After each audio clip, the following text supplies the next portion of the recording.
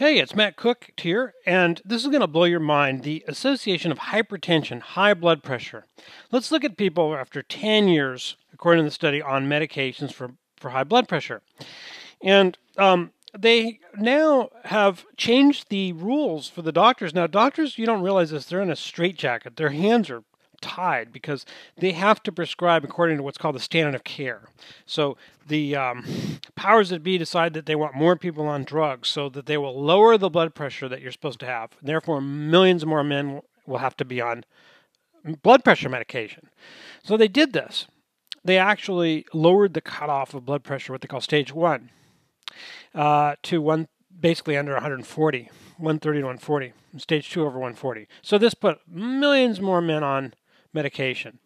Now, this is a very tricky thing, and I'm going to show you how to get around this. Okay, so basically, after they implemented this, they they like to they play little games, but um, the adjusted CVD specific mortality rate that means the people that died of heart disease. But what we want to know is the people that died period all cause mortality, which they don't really report in the study, but they do report something else that's so interesting. They report, and it's too bad, they report that almost half of these men were depressed, whereas a third of non treated patients were depressed. So these cause depression. They also cause erectile dysfunction. No wonder. Who wouldn't be depressed? These are horrible medications. The question is should you be on them? The question is do you actually have high blood pressure? Maybe you really don't. Maybe the doctors are treating something where there's nothing wrong. So, uh, this is a very, very good study which uh, uh, actually shows that high blood pressure and all cause mortality in older adults. Community dwelling means they're not in a hospital or nursing home. They're on their own. They're living out in the community. All cause. Uh, so this is a very interesting study. Now, this is what it finds. I'm not going to go through all this. I've been through this, so you don't have to be through it. So keep in mind, stage one hypertension is the old definition, 140 over 150 to, to basically 159, and anything over 160 is stage two or stage three. Now, here's what's so interesting. This is so critical. They found that people with high blood pressure actually live longer than the people with lower blood pressure. And I'll show you that. Let's see if I can make this a little bigger for you because you're not going to believe this. Okay, so here it is all cause mortality. Okay, so the, the under one means that fewer people died. So of the people that had stage one hypertension, look at this 0.88%. That mean 0.88. That means fewer people died who had hypertension. 0.9. Fewer people died who had hypertension. Only the worst hypertension okay? Like 160 and above. There was a very mild elevation in mortality, almost none. Almost none.